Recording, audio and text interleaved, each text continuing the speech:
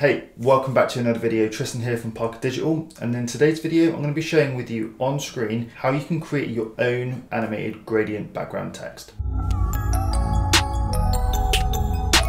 Now, personally, I think this looks really cool, and you may or may not have seen this around the web in your travels. I certainly have, and I think it's a really nice addition to either your website or any of your clients' projects if that type of thing fits within what they need. Now I'm going to be running you through this on screen step by step. But before we do that, please do remember to hit that subscribe button, hit the bell notification too, and you'll be notified of any future releases. And let me know down in the comments if you are trying to add this to your own website. If you've seen this online, let me know what you think of it. Some people love it, some people hate it. I personally think it's great. So let me know down in the comment section. Now without further ado, let's jump onto the screen. Alright guys, cool. So we are on screen, recording and inside Elementor. And actually we're inside the agency website. So I'm going to apply this style, this animated text gradient to the actual agency website. I think it looks really cool and I think it'll look really nice on there. So let's just try it. Now what you want to do first of all is select the text that you want to apply this gradient text to. So we're going to go with our main H1 tag here on the home page. So to click inside there, it's going to activate on the left hand side. First of all, let's have a look at the code. We've got the code here and we can just click and drag that across in into Elementor, into custom CSS, and it's not actually going to do anything at the moment. And that's because we need to apply this class that we've defined here called gradient text. Now, this can be anything that you want it to be, but whatever this is, this also needs to match the class of the heading tag here. So we need to apply that class to this container. So we've got this container selected. Let's go to advanced, and here under layout, we want to go to CSS classes. Okay, so we want to add our class inside here. So just as a reminder, this is gradient text. So what I'm going to do is we're just going to copy this and we're just going to paste it in here. All right, so we've now got the class of gradient text on here. So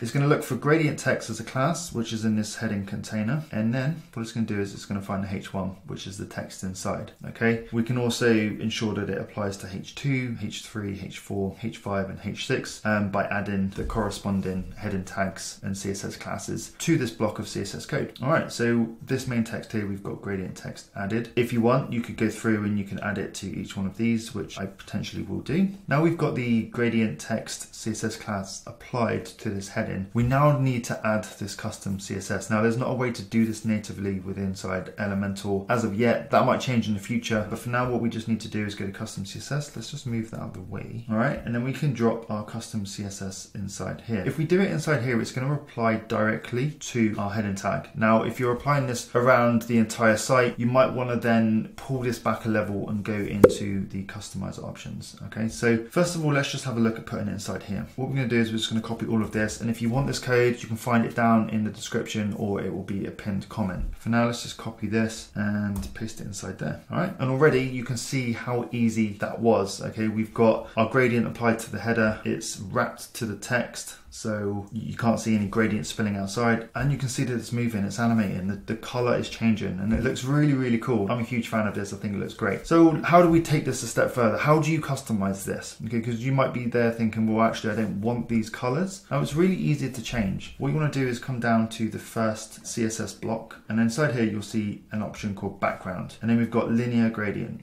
So this is what's creating the gradient. And linear just means it starts and it ends. You can have linear gradient you can have radial radial gradient, which is a circle in the middle, and the, gradient sort of like spills out. Is it an iris shape? I don't know, but it's, it's circular. This one is linear, so it's starting at one side and it's finishing at another. Okay, so we've also got a 45 degree angle, so it's going to start down here and it's going to end up here. Okay, so it's going diagonally. Because the text is going horizontally, sometimes it's nice to create the gradient diagonally, so it goes across diagonal. Here we've got all of the colors. So these are the colors that are appearing in here, and we've got one, two, three, four, five. You can add more if you wish. You can take some away. If for example, we take two away, it's going to look very different. Right? We've just got two colors, red and a bluey, bluey color, which is our brand color. Okay, so you can see that already it looks very, very different. So if we add the other two back in, we've got orange in there and we've got a pinky purple, which I really like. So what you would do is you would just go through, find the hex codes to the colors that you want, and you would apply them in here. Okay, now we've also got background size. This is really important because if we, for example, don't have this, it's going to look like this and it's not going to move. Okay, you can see that it's, it's not animating. And that's because the background size needs to be a lot larger than the, the piece of text that it's inside. And that's what's going to allow the animation to the background to kind of move around. All right, so we've got this text as a mask, as a window, and we've got the background sitting behind it, and you want the background to, to move. So that's the idea of this. So what we do is we want background size to be 200, 300, 400%. The larger the percentage, the more that it's kind of going to like move around, and you'll end up with a kind of slower, more fluid transition. We're at 400%, we're just going to keep that here. This is the important bit. This is the animation. This is what's going to cause it to move. Now, if you don't want it to move, you can literally just delete this and you're going to end up with a, a type of gradient on the text. If you want it static, it's absolutely fine. That's how you do that. But if you do want it animated and moving like me because it looks pretty cool, all you do is add the animation. Okay, so the animation class, it allows us to create an animation name. So we've got text gradient. We want that animation to run for 15 seconds and we want to create the easing to ease. And we want that to loop, okay? We want it to run infinitely. We don't want it to just run once and then stop.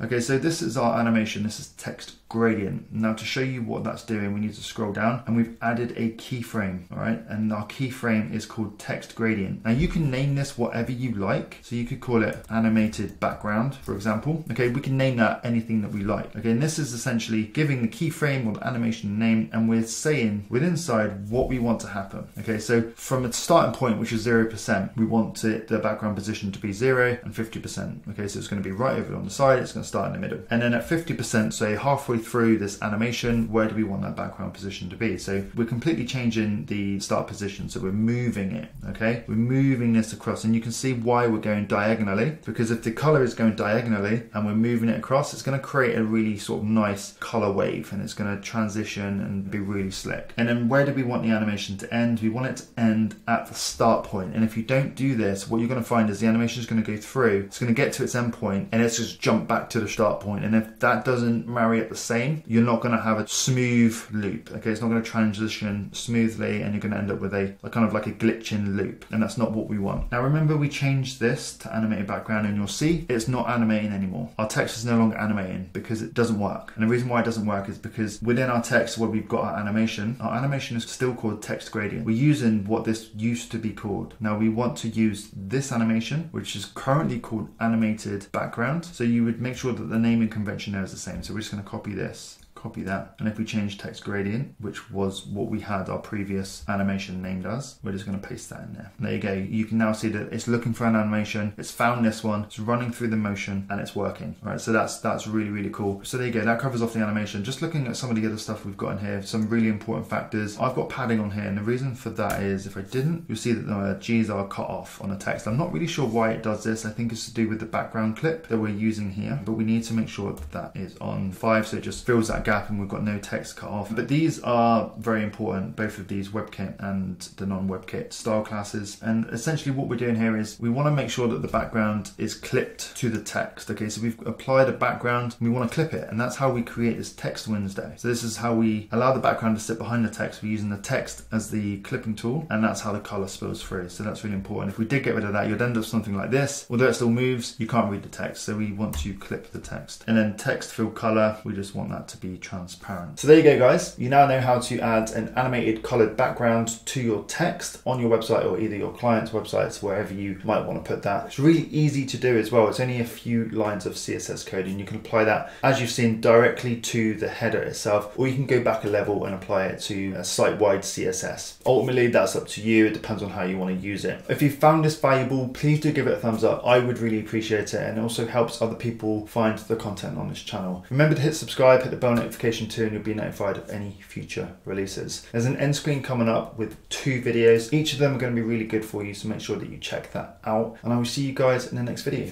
Bye.